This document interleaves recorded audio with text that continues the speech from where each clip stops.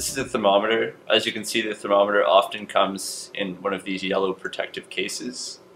When handling the thermometer, make sure you try not to hold it by the bulb as that will influence the temperature that you are looking to read. Um, the thermometer is precise to 0.2 degrees Celsius and has a, a range of negative 20 to 110 degrees Celsius. When using the thermometer, avoid exceeding this range, so do not go over 110 degrees Celsius, and in any case, do not go under negative 20 degrees Celsius. When using the thermometer, what you want to make sure is that the thermometer is actually within your liquid and not touching the bottom of your beaker.